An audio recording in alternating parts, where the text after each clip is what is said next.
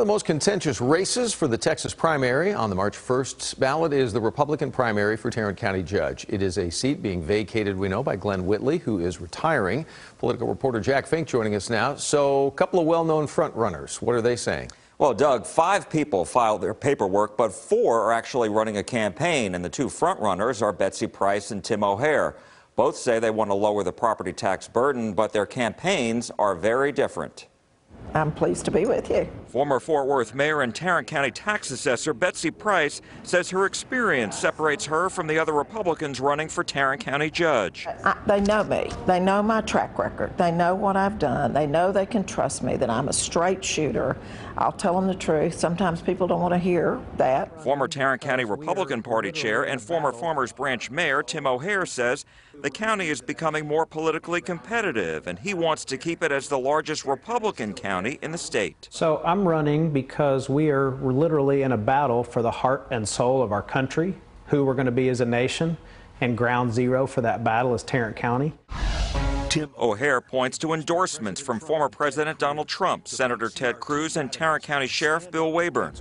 He says he wants to cut the county property tax rate by 20 percent, offer a homestead exemption, and limit the size of government, but not law enforcement. Boots on the ground approach. Price points to her endorsements from former Governor Rick Perry, Land Commissioner George P. Bush, and current Judge Glen Whitley.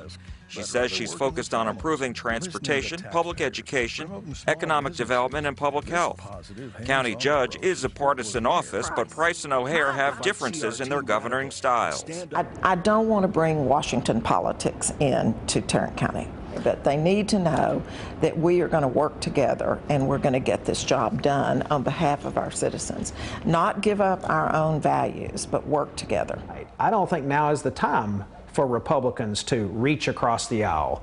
I think now is the time for Republicans to stand up and fight. And I think what Republican primary voters in Tarrant County want, and around the country for that matter, they want somebody that's going to fight, somebody that's going to fight for them, their families. Robert Trevor Bucher and Byron Bradford are the two other Republican candidates in this race, and you can find the full interviews of these four candidates on our website, cbsdfw.com slash jackfinkinterviews. The Republican nominee will take on the winner of the Democratic primary, either Deborah Peoples or Marvin Sutton, in November. Doug? Great way to get educated and see what you want to do regarding your own vote. Jack, thank you. Be sure to join Jack and me and the rest of the CBS 11 team Monday. We've got a special edition of CBS 11 News at 5 o'clock. We'll be devoting the entire newscast to the Texas primary. Take an in-depth look at the races that matter most to you on primary election day next Tuesday.